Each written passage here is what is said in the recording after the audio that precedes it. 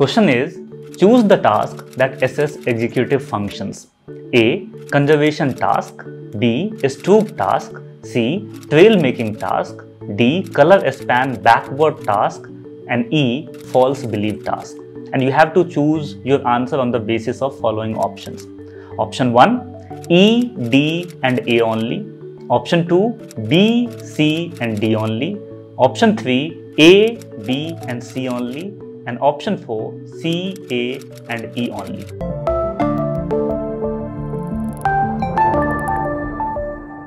First of all, try to understand what is executive functioning and all the options that are given here. So you will be able to analyze the right answer. Cognitive executive function refers to a set of mental skills that help you manage and regulate your thoughts, actions and emotions to achieve goals. These skills include working memory, inhibition, flexibility, planning and organization, self-monitoring and initiation. Initiation means starting tasks or activities independently and without procrastination. These executive functions are crucial for everyday tasks, problem solving, decision making, and overall cognitive flexibility.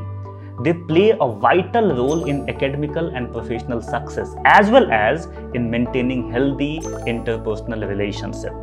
Difficulty in any of these areas can impact various aspects of life and may be associated with conditions like ADHD and autism spectrum disorders. Now let's talk about all the options. So first is conservation task. The conservation task is commonly used in developmental psychology to assess cognitive development, particularly conservation of quantity. For example, understanding that the amount of liquid in short and wide glass is the same when putting the same water into tall and thin glass. This task involved in some cognitive processes, but it is not typically considered a direct measure of executive functions, as it primarily assesses basic cognitive abilities related to understanding physical properties. Second is Stroop task. In this Stroop task, participants are asked to name the color of words that are printed in incongruent colors.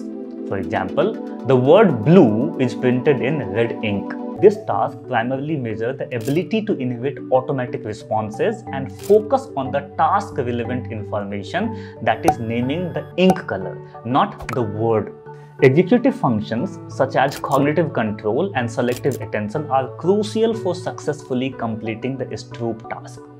The third is trail making task. The trail making task consists of two parts, the trail making test part A and trail making test part B. In part A, participants are asked to connect numbered circles in ascending order as quickly as possible. In part B, participants are asked to connect circles altering between numbers and later in ascending order like 1A, 2B, etc. Part B introduces cognitive shift and set shifting component that requiring participants to switch between different rules of cognitive sets, which is key aspect of executive functioning, particularly cognitive flexibility. And fourth is color span backward task.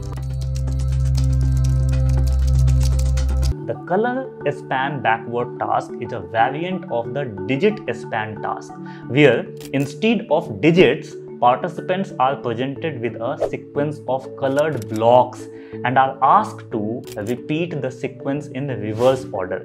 So you all are aware what is digit span. In digit span, we are presenting digits and participants need to repeat them in reverse order. This task assesses working memory capacity as well as the ability to manipulate and update information in working memory, which are important aspect of executive functions. Fifth is false belief task. The false belief task is used to assess theory of mind, which is the ability to understand that other may hold beliefs that are different from one's own. That belief may influence their behavior.